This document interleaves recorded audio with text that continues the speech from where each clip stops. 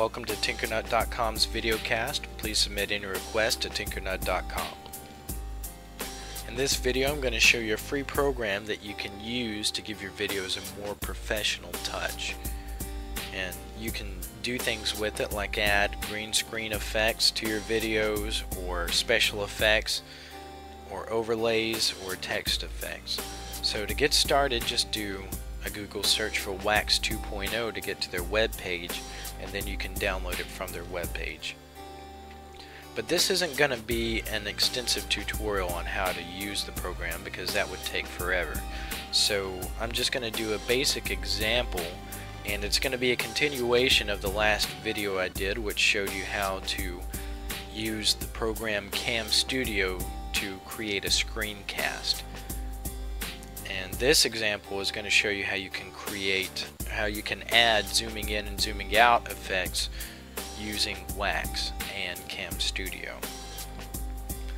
So once you finished installing it just launch the program. And to add a media file go up to where it says media bins and right click on the folder and select add media files.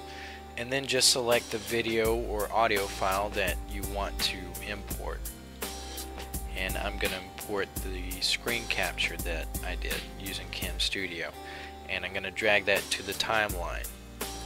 And then the next thing you want to do is select video plugins. And I'm going to drag the Transform 3D plugin to the timeline right below the video. And then I'm also going to select Quick 3D and drag that on top of the video. And it'll drop it right below it so the first thing that you want to do for the zoom options is you want to hit play and play the video until you get to where you want the zoom to start and it'll show the line on the timeline. Then the next thing you want to do is right click on each one of these little stopwatches and select linear and you can see that adds little dots onto the timeline. You want to drag these little dots out to where where it is you stop the video which is represented by this this line. You want to make sure that they're all even. and then what you want to do is you want to hit play again until you get to where you want the zoom to stop and what you, and what you want to do after that is just adjust these options the position X, position Y, scale X and scale Y until you get it zoomed in to where you want it to be and then if you go back and hit play it's going to show the zoom effect and so you can do this for as many times as you want and then just go up to project and settings and select where you want to save it to and then you can also click options and select how you want to encode it.